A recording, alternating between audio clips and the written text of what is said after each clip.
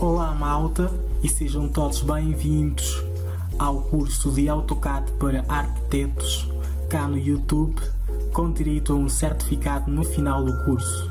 Neste curso você aprenderá passo a passo com o AutoCAD todas as ferramentas necessárias para a elaboração de um projeto de arquitetura, sem ter de depender da versão do AutoCAD ou de outros programas. Se tu pretendes receber o seu certificado após este curso, é somente baixar o nosso vídeo aqui no YouTube com o título Como receber o seu certificado de AutoCAD na Audio Art 3D Channel.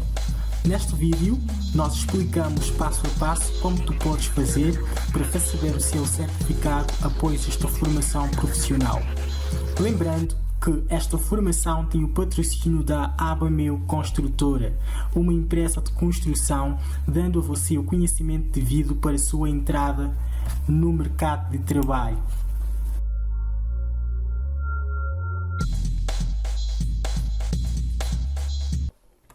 Olá pessoal, como é que vocês estão? Espero que vocês estejam todos bem e sejam todos bem-vindos a mais um tutorial que na AudioArt 3D com óleo loureiro.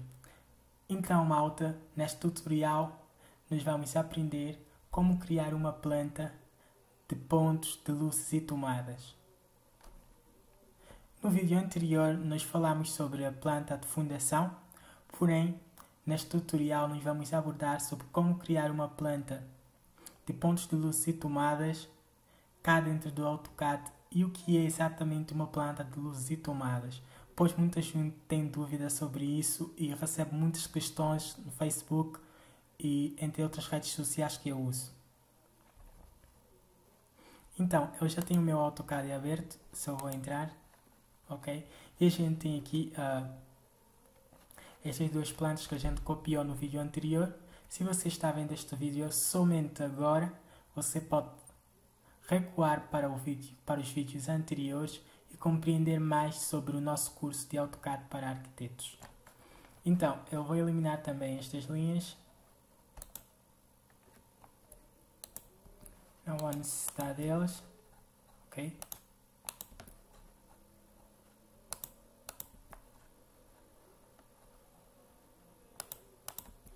Posso deixar isso a eliminar, tanto faz.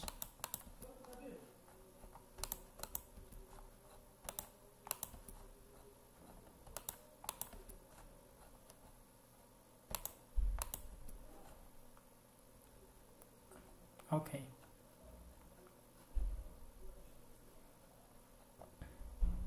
Então, uh, pessoal, o que é realmente uma planta de luz e tomada?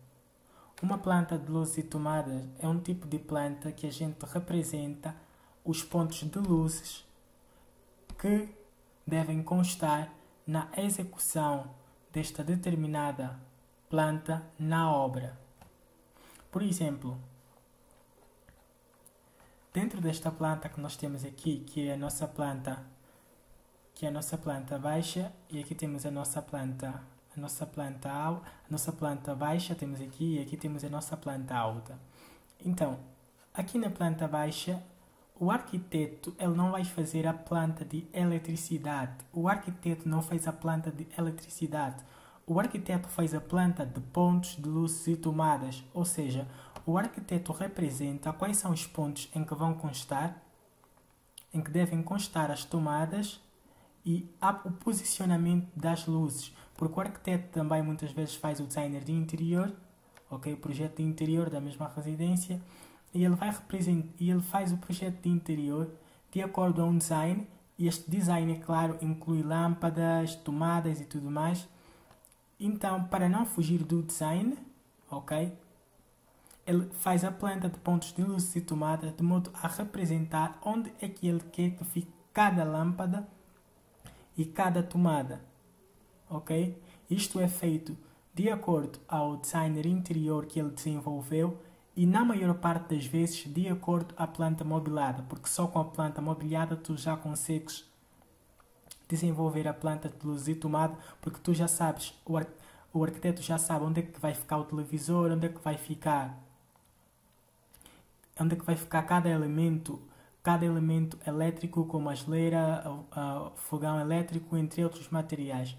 Então, à base disso, ele elabora a planta de luzes e tomadas, onde ele simplesmente representa onde ele quer que fique cada tomada de acordo com a planta mobiliada que ele executou e onde ele quer que fique cada luz e que tipo de luz ele quer. E o eletricista uh, pega no plano do arquiteto e executa isso fisicamente. Porém, quem faz os cálculos, quem faz os cálculos da, da, dos volts da, da luz, das, da, das luzes que são aplicadas na determinada residência é o eletricista, pois as redes técnicas são uma área de especialidade. Então, a execução da planta de eletricidade é uma especialidade do engenheiro eletricista, certo? Então, o arquiteto faz a planta de pontos de luzes e tomadas e o eletricista faz a planta elétrica em que envolve cálculos de volts e demais aspectos abrangentes. Vou mostrar-vos um exemplo, ok?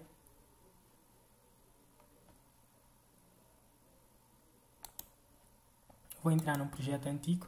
Aqui a gente tem uma planta de luzes e tomadas. Aqui a gente, uh, aqui eu representei ok? O posicionamento de cada lâmpada, onde é que eu quero que fique cada lâmpada, que tipo de lâmpada eu quero, ok? E como é que devem ser as suas conexões. Porém, uh, isto foi feito de acordo com a minha planta mobiliada que eu tenho aqui, ok? Vocês podem ver. Então eu já defini onde é que vai ficar o televisor, cadeirão e tudo mais, e a base disso eu consigo definir onde deve ficar cada lâmpada, cada iluminação e cada tomada. Porém, é uma, é uma sugestão, ok? Que o arquiteto já, já, dá para, já dá para o eletricista, e o eletricista baseia-se nisso para fazer os cálculos de, de volts e geralmente também é o eletricista quem define onde vai ficar o quadro elétrico, porque é uma zona de perigo, é uma zona que o quadro elétrico é algo que, que tem o controle geral de toda a, toda a residência, de um modo geral, ok? Então, isto geralmente quando o arquiteto define onde vai ficar o quadro elétrico, é apenas uma sugestão, porque este posicionamento também pode ser mudado pelo eletricista segundo a sua, a sua opinião como especialista da área. Porém, agora vou mostrar-vos uh, um exemplo de uma planta elétrica mesmo, que não é pontos de luz e tomadas, para que vocês possam ver. Uh, isto é de um projeto que a gente está a fazer, uh, de um projeto que a gente está a administrar de uma obra do governo, ok? Porém, eu vou mostrar-vos simplesmente, aqui a gente tem os pormenores de eletricidade, ok? E aqui a gente tem, por exemplo, o quadro administrativo, tem o quadro AG geral, ok? Tem o quadro QB de blocos, ok? Tem um quadro que é de cozinha e vocês vejam que tem muitas, mais muitas definições aqui, ok? Vocês podem ver, isto é uma obra de Estado, então vocês podem ver que tem muitas, mais muitas definições aqui que foram definidas pelo engenheiro eletricista, ok? E aqui a gente tem a planta com as suas representações de ligações, porém Porém, fora das representações, todos esses, todos esses volts que estão aqui são calculados pelo eletricista e representados tal como eu mostrei, ok? Tal como eu mostrei na planta anterior, que é esta aqui, ok? Porém, você não precisa de fazer todos estes pormenores que a gente tem aqui, porque quem vai fazer isso é o eletricista, não precisa de dar muito trabalho, porque isso é área de especialidade.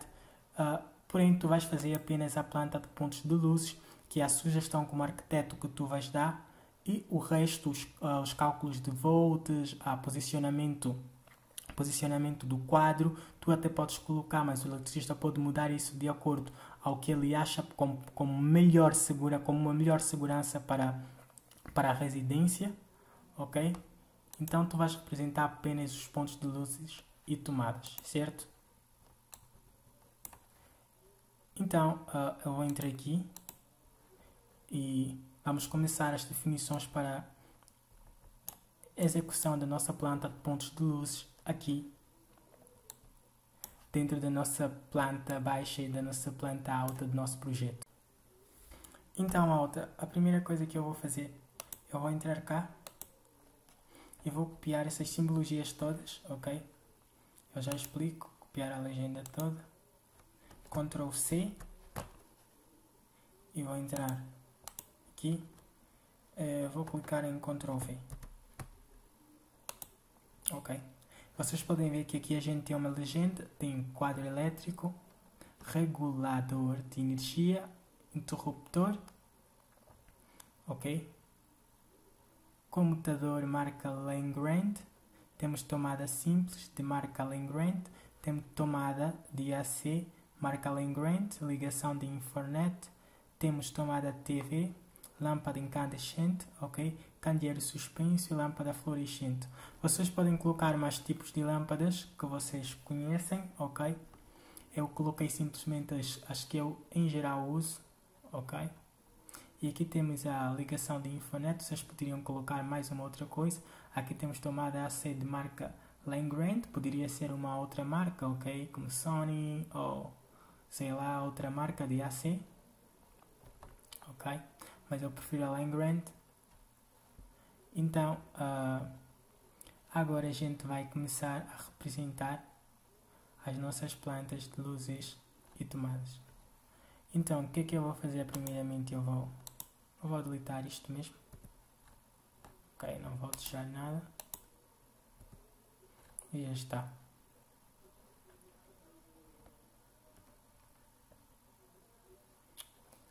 A primeira coisa que eu vou fazer, pessoal, eu vou clicar aqui, criar uma linha aqui.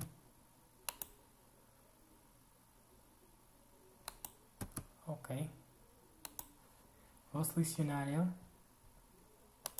Vou acrescer um tamanho. Vou dar um tamanho de 60.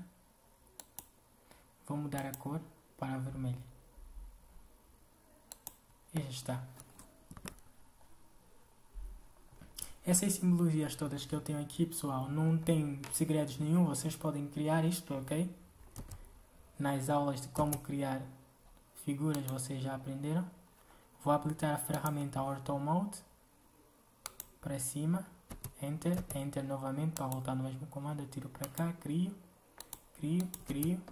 Posso clicar em F, Enter, crio, já está. Posso criar text, digitar text, coloco um R, letra maiúscula, já está.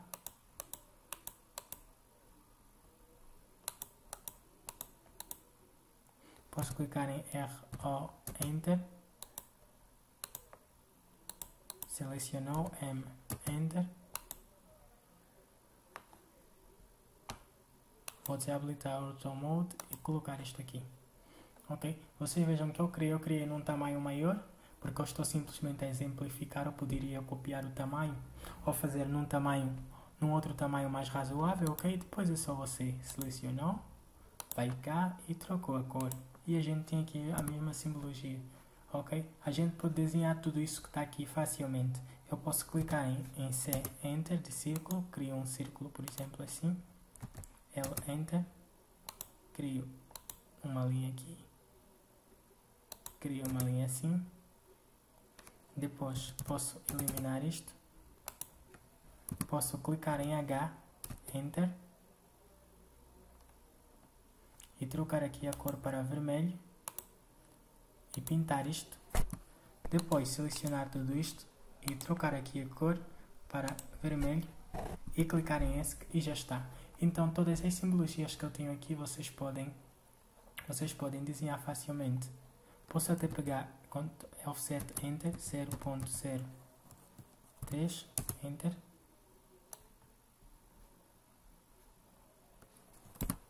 offset 0.05 offset 0.5 offset 0.2 Ok, e também posso criar este tipo que está aqui. E se eu quiser meter no mesmo posicionamento, eu só R, O, Enter e depois e já está. Como vocês podem ver, é muito fácil criar essas simbologias. Posso até dar mais um exemplo, ok? L, Enter.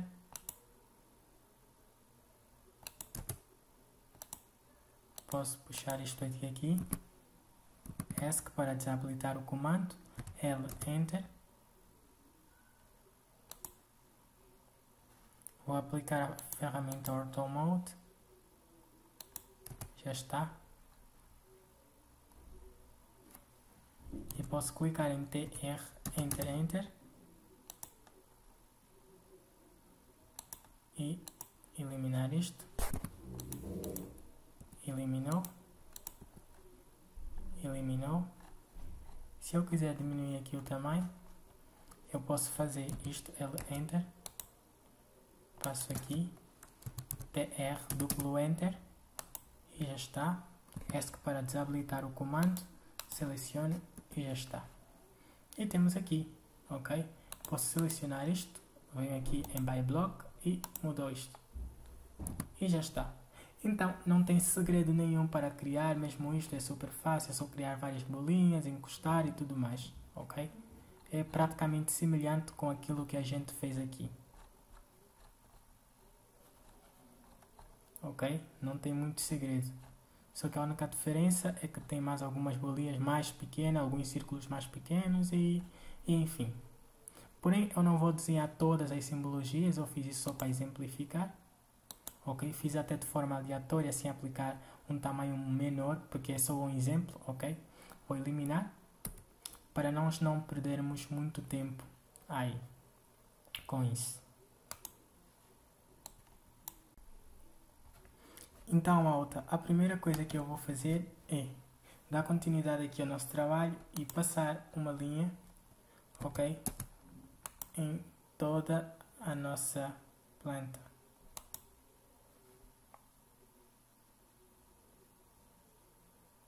Vou passar uma linha aqui.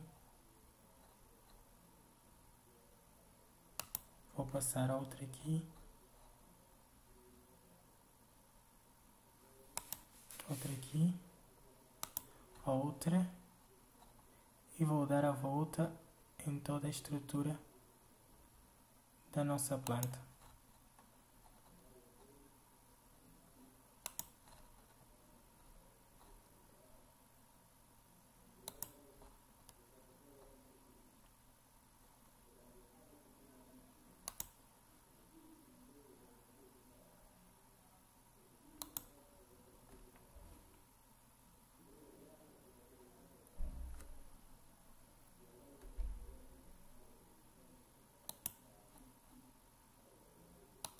Vou parar aqui até o momento. Vou selecionar, fechar isto.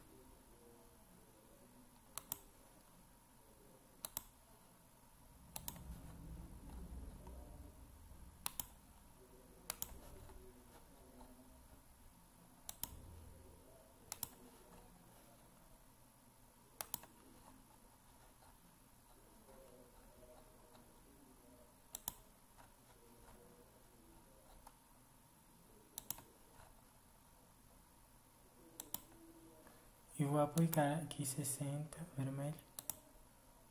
E aqui um traço de 60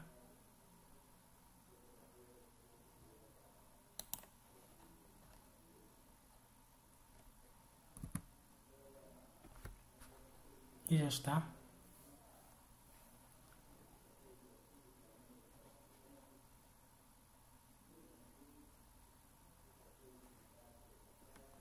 Vou seguir também aqui com o mesmo processo.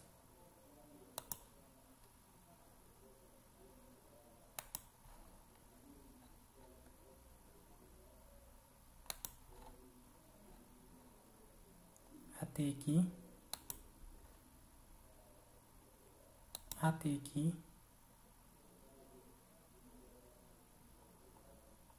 Até aqui.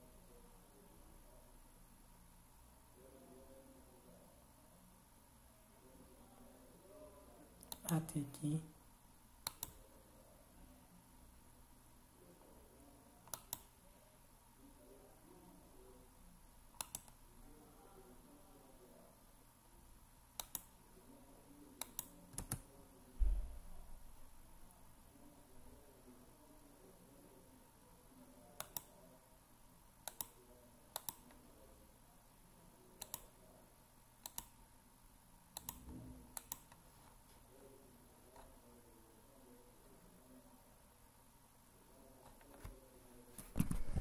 Vou até clicar em ESC.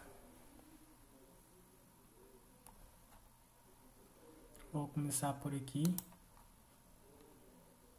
E depois aqui. E aqui. E aqui.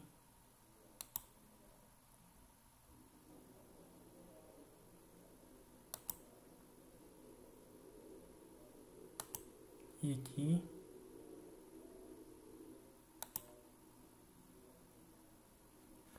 E agora vou aplicar a cor vermelha em by block e o traço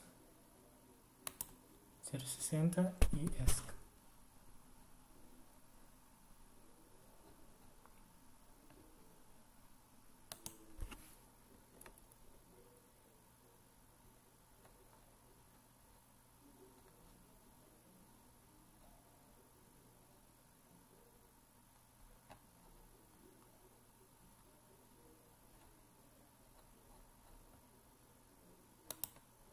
Pode clicar.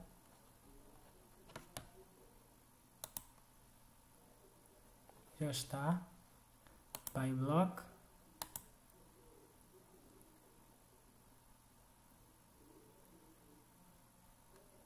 E aqui eu vou colocar a linha vai ser mesmo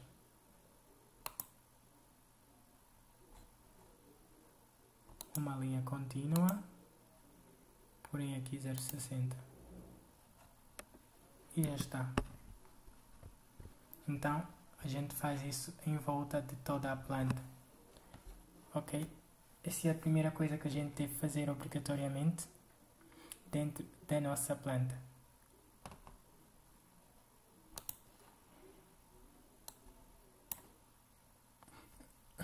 Malta, eu vou criar até aqui um diferencial. Eu vou vir para aqui, para este lado, uh, vou tirar isto, vou tirar e vou tirar. Isto porque não daria certo se eu colocasse aqui, se passasse aqui todo o fio elétrico, porque caso houver alguma explosão, alguma, alguma coisa que seja fatal, vai ter que se partir esta parede para poder mexer-se mexer nesse cabo elétrico então não daria certo então vou fazer o que eu vou clicar aqui.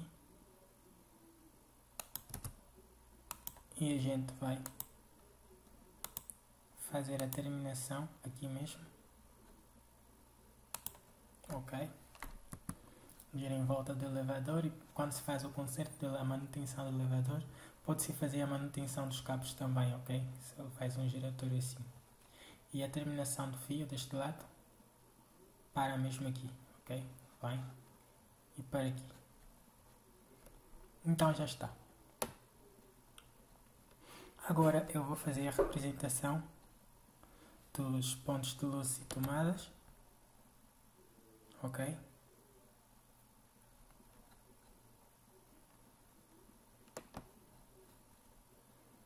Eu vou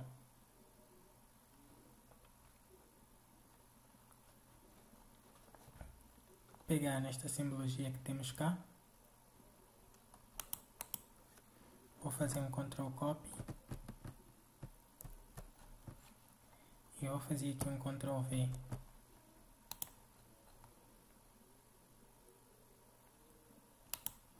Agora eu vou clicar em RO, Enter, e vou rotacionar isto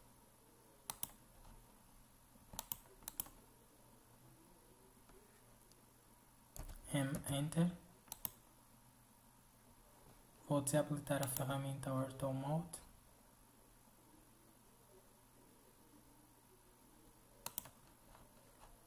e colocar isto aqui.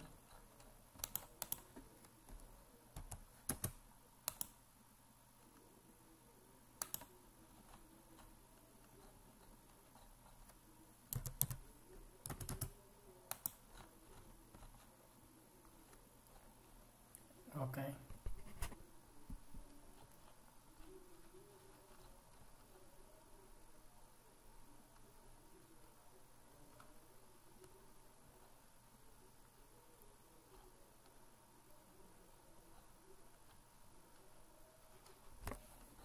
Provavelmente ia ter uma tomada aqui, não? Um interruptor.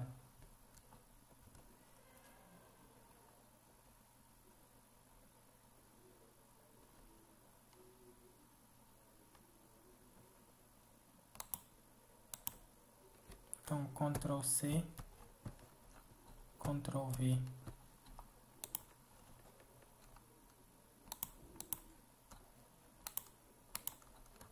Vou fechar isto. Posso até clicar em Scale para diminuir a escala se eu quiser.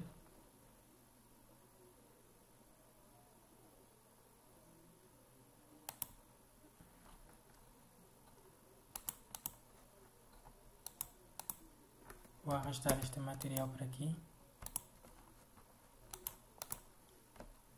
Fazer um scale.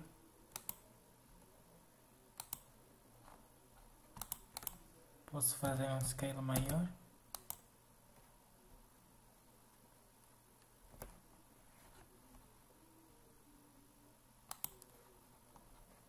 Ok. Um RO agora, Enter.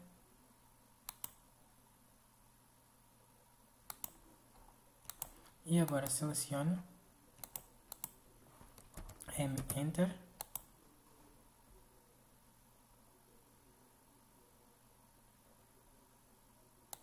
e coloco isto aqui.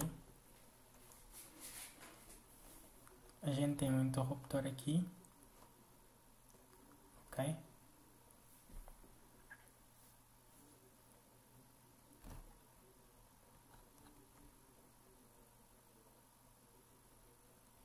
É só clicar aqui, um clique.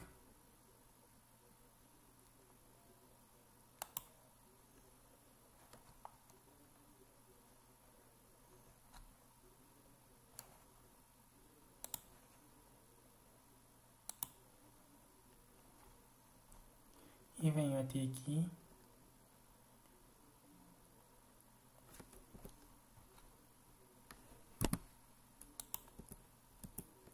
Posso até começar mesmo daqui.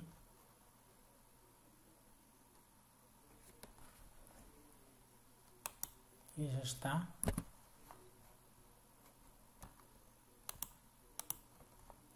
Faço um, coloco um, um vermelho. Ok, já está.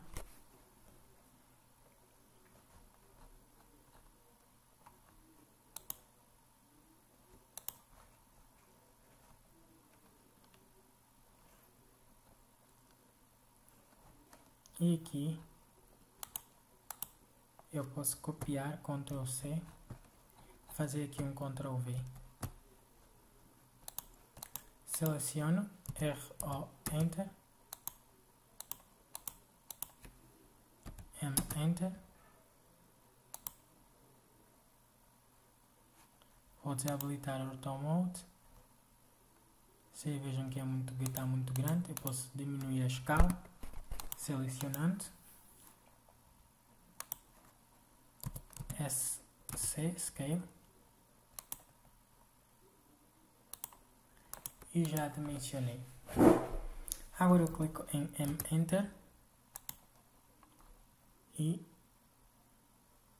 coloco bem aqui.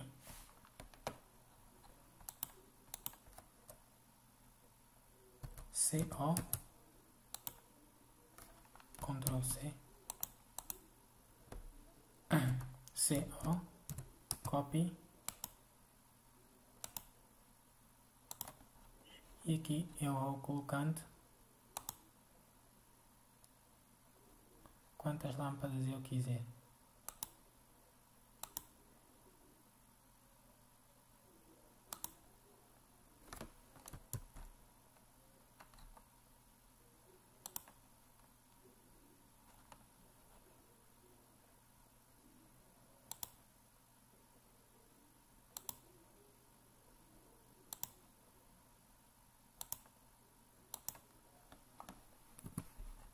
E já está.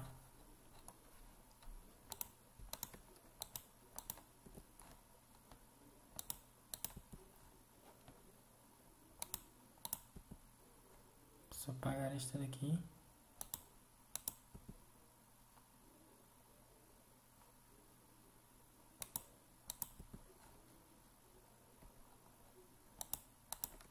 Posso colocar isto mais por aqui.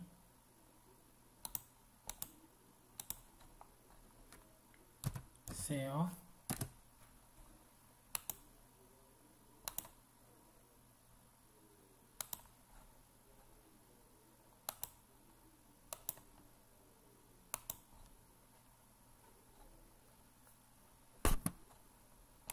Vou selecioná-lo, M Enter. E já está.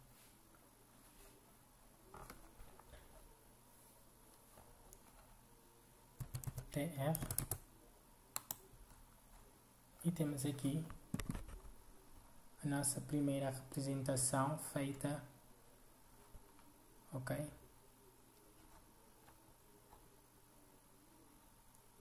Nos pontos de luz e tomada eu posso ter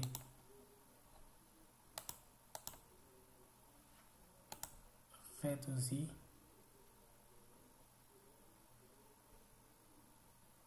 isso para 30 ok. E assim está mais razoável. Vou clicar em salvar agora para salvar aquilo que a gente já fez até agora.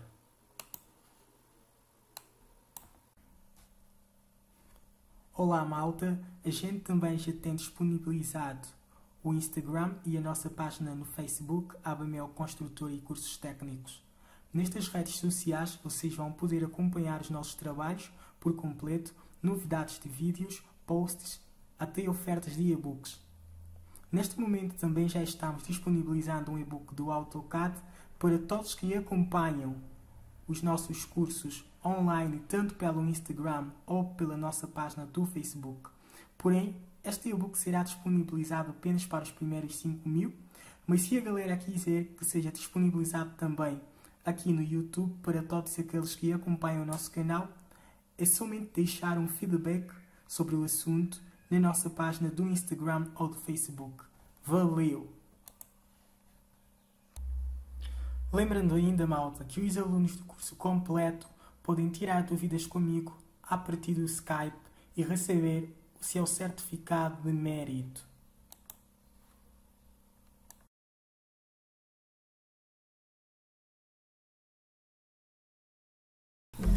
Alma Mil Construtora, sempre ao seu dispor.